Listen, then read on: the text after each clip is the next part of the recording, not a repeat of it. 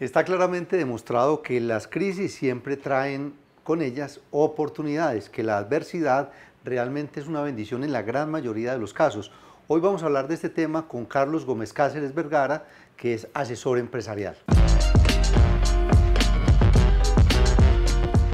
Bienvenido a nuestro programa Negocio en tu Mundo, además para hablar de un tema tan interesante. Gracias Juan por la oportunidad y que, que valga para, mostrar muchas partes de las reflexiones de que la crisis siempre lleva una oportunidad. Carlos, vamos a, mirar por qué realmente detrás de las crisis siempre hay oportunidades y qué evidencia histórica tenemos de ello. Más que la pregunta sea una consigna eh, laboral o, inductivo em, emocional, las crisis eh, en el transcurso de la humanidad ha sido una, bitácora de grandes triunfos, de grandes descubrimientos y de grandes valores que se han dado casi siempre en la adversidad. podemos poner un ejemplo muy claro que es el tema de las posguerras. El caso de Japón. Japón llegó a, a ser eh, un país desarrollado a través de la posguerra, la oportunidad que le dieron los países para resarcir todo lo que había pasado en la guerra, para industrializarse y acabar con el alfabetismo. Igualmente, de, toda esa parte global, uno inmediatamente la va llevando a la parte empresarial. En la parte empresarial, pues, eh, si la miramos pues globalmente, todos los, grandes empresarios han comprado empresas en crisis y se han hecho multimillonarios con empresas en crisis. Eh, casos como, como el tema de Onassis, el, caso hoy muy reciente de Warren Buffett o de, o de Framovich en el tema de Avianca. Y, parte en, en, cuestiones de empresas, pues hay un caso que es personal, que lo tuve hace muchos años en una empresa que, llegué a liquidar, fui gerente liquidador de la empresa y, no, se, no, no, se vendió en operación, fue una oportunidad nueva para los nuevos empleados y para la nueva empresa que adquiría el negocio, ¿sí? de repotenciarse y hacer una integración vertical. Carlos, hay un aprendizaje bien importante que usted nos dice y que justamente tiene que ver con, las crisis y con una gerencia eh, moderna y es la que tiene que ver con ese gerente endógeno y exógeno, cuál es el uno y cuál es el otro y cómo se encuentra ese equilibrio. Somos la generación que hemos vivido dos revoluciones industriales. La primera la de Internet y hoy es la de tema medioambiental. Y el gerente en este transcurso del poco tiempo, ¿sí? yo pienso que tiene que evolucionar hacia las tendencias que hay exógenas. Porque uno de nada vale ser un buen gerente hacia adentro de la organización. Si, si hay que mirar las tendencias de lo que está pasando eh, en el exterior. Antes la cultura empresarial podía cambiar en 100 años después pasó a, 50 años, a 10 años. Hoy la tendencia puede cambiar en, un año. Por eso, como gerente, hay que estar mirando tanto adentro como hacia afuera qué está sucediendo. Le pongo el caso. Eh, Black Boxter, y yo lo llevo mucho más a Betatonio. Cuando yo estudiaba en Bogotá, eh, Betatonio era lo mejor que había en, cuestiones de, de, alquiler de películas. Después llegó Black Buster y Blackbuster pues acabó con la, con la industria nacional en esa parte y la se convirtió en una multinacional lo más grande del mundo.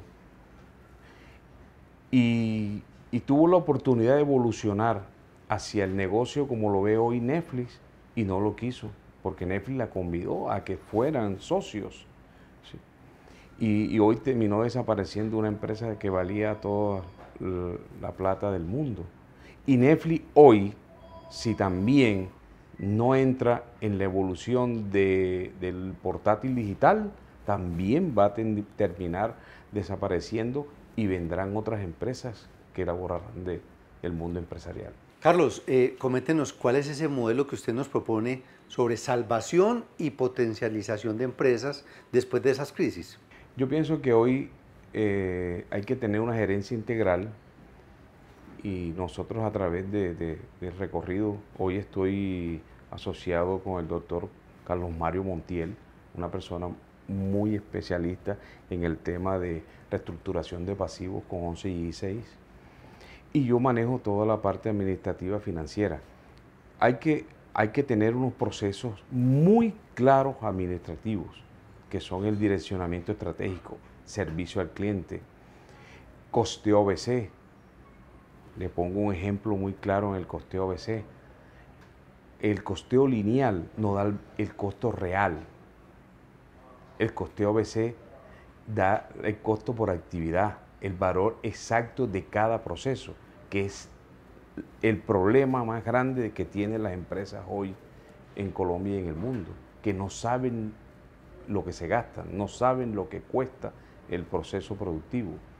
Eh, también tengo el tema de que todas las empresas, hablando de la cuarta revolución industrial, todas las empresas deben acogerse a la parte ambiental, articularse con los grandes convenios internacionales ambientales, como ha sido el de Río Último de, de París, porque el Estado, para poder cumplir con esos estándares internacionales, le da mucha prebenda a los, a los, empresarios.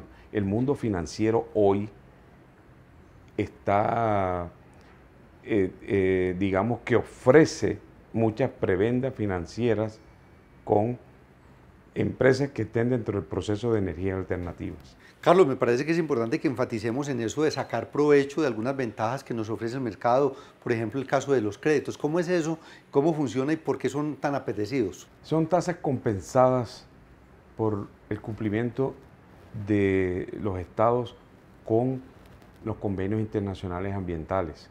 Hoy hay muchas entidades internacionales, bancas multilaterales, bancas de segundo piso nacionales que están interrelacionadas con organismos internacionales que solamente tienen créditos especiales compensados a energías alternativas. Entonces, todas las empresas hoy debieran acogerse a eso. Además, aquí hoy hay una ley en Colombia, que es la ley 1715, que le ofrece unos beneficios tributarios por estar ahí. De las condiciones financieras hay eh, organismos internacionales que dan 8 efectivo anual, eh, dos o tres años de gracia. Carlos, muchísimas gracias por acompañarnos aquí en nuestro programa de televisión Negocios en tu Mundo. Juan, de, muchas gracias por la, por la oportunidad. Eh, ojalá pueda haber otra nueva ocasión.